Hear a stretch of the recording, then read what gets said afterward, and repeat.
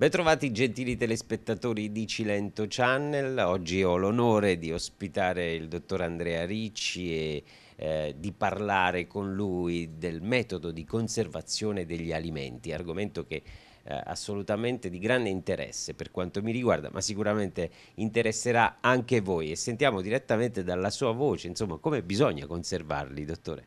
Sì, allora abbiamo pensato per questa puntata appunto di fare un excursus sui metodi di conservazione degli alimenti. In effetti è un qualcosa di cui l'uomo ha sempre sentito la necessità sin dalle prime popolazioni stanziali. Questo perché ovviamente eh, conservare, aumentare diciamo, la durata degli alimenti era un qualcosa che è servito sin da subito. Ovviamente per conservare un alimento questo deve conservare le sue proprietà organolettiche, nutrizionali e igieniche.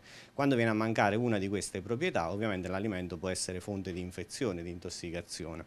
Eh, quali, già dal paleolitico, diciamo dalla natura stessa, l'uomo imparò ad utilizzare per esempio la salagione oppure l'essiccamento al sole o a sfruttare il freddo. Poi si incominciarono già con i romani, i greci ad utilizzare altre sostanze, quali per esempio il miele, l'aceto, eh, l'olio, oppure ehm, isolare dall'aria eh, la frutta, per esempio, ricoprendola di cere oppure di resine. Eh, questo però ovviamente andava un po' ad intaccare quello che era eh, diciamo, il profumo e il sapore originario degli alimenti. Però fino al Medioevo non ci furono grosse variazioni, se non che dopo la scoperta dell'America ci fu l'introduzione dello zucchero e quindi questo permise di conservare la frutta sotto forma di, di canditi. Però i grandi cambiamenti si ebbero solo poi dal 1700, questo un po' perché si incominciarono a capire quali erano eh, le cause del deterioramento degli, degli alimenti e un po' perché già a partire da un pasticcere francese che si chiamava Appert eh, notò come riscaldando gli alimenti in acqua bollente bollente e poi chiudendolo in maniera ermetica in un vaso, questo se ne poteva eh, prolungare la durata. Ovviamente questa che era la prima forma di sterilizzazione poi fu perfezionata diciamo, nel tempo, quindi arrivando alla conservazione nella latta e alla mh, mm, chiusura ermetica appunto dei, dei vasi. Nei primi del Novecento questo poi si rivelò molto utile per esempio per la prima guerra mondiale perché ovviamente c'era la necessità di portare grandi derrate alimentari all'esercito ma anche per eh, trasportare alimenti dalle colonie alla madrepatria e viceversa. Chiaramente dopo la seconda guerra mondiale con l'avvento dell'industrializzazione si sono incominciate a utilizzare tutta una serie di sostanze chimiche, quelle che possiamo definire gli additivi eh, alimentari. Ovviamente queste vanno dai coloranti, dai conservanti, gli esaltatori di sapidità e sono quelle eh, sostanze che troviamo sulle etichette segnalate con la sigla E ed un numero.